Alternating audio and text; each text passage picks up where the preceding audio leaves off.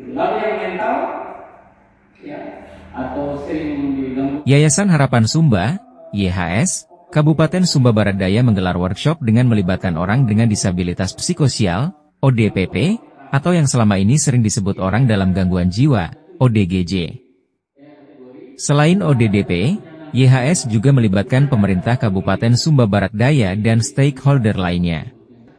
Kegiatan ini mengangkat tema kebijakan inklusif disabilitas dalam proses perencanaan dan penganggaran tingkat kabupaten.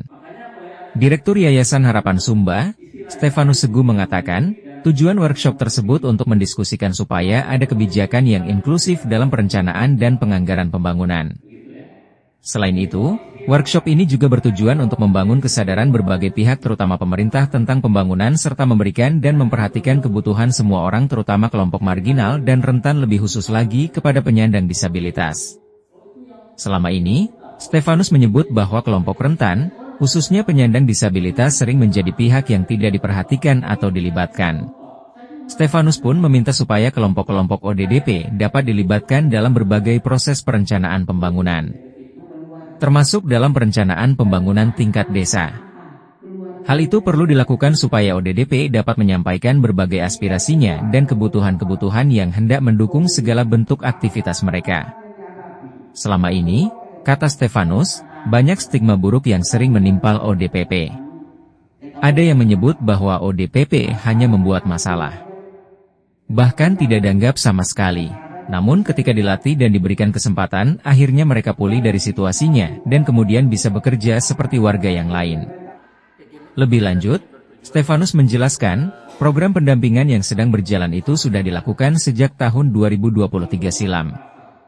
Kendati sudah berjalan beberapa tahun, YHS berhasil mendamping ODDP untuk bisa melakukan aktivitas seperti warga masyarakat lainnya. Menurutnya, Terdapat juga sejumlah ODDP yang didampingi untuk mendapatkan admindo atau sudah memiliki identitas diri seperti EKTP. Selain itu, juga mendapatkan pelayanan kesehatan di berbagai puskesmas. Stefanus mengakui, keberhasilan itu tidak terlepas dari dukungan pemerintah melalui Dinas Kependudukan dan Dinas Kesehatan Kabupaten Sumba Barat Daya, NTT. Dengan begitu, Stefanus berharap supaya pemerintah desa dan pemerintah kabupaten dapat membantu ODDP supaya terdata dalam data-data resmi pemerintahan. Ia mengharapkan itu, supaya ODDP dapat dimudahkan dalam memperoleh bantuan-bantuan sosial. Dengan uh, ada kesadaran ini, kita harapkan ke depannya uh, para pihak khususnya pemerintah itu mau melibatkan mereka ya, dalam seluruh proses pembangunan. Kemudian uh, menyediakan atau mendukung mereka untuk memiliki admindo, ya, terutama KTP, kemudian mendukung mereka agar terdata di dalam data-data desa dan data resmi pemerintah supaya mereka mendapatkan akses kepada layanan-layanan dan bantuan-bantuan sosial.